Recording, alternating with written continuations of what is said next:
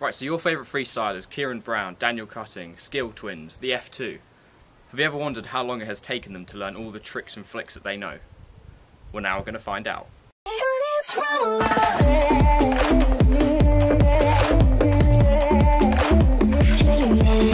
Right, what's up guys, it's Hazman12 and welcome to a brand new series on my channel where I'm going to try and see how long it takes me to learn loads of different tricks and flicks of other freestylers. And this is called Road to Freestyle.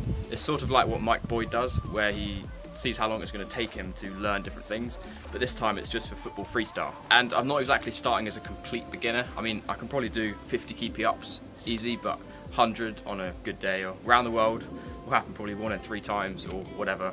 So I'm not a complete beginner, but I'm not a master at freestyle, so it should be a fairly good test. One other thing on this series, if on my channel you see that I haven't uploaded in about two weeks or so, that's probably because I'm doing one of these episodes that's just taken me a bit too long. So yeah, just watch out for that. Right, so the first episode that's going to be airing in a couple of days, we'll be learning to do five neck flicks in a row, and then there'll be different episodes after that, whatever you say in the comments, and some other things that I suggest. And uh, yeah, like if you're excited or if you enjoyed the video. See you later.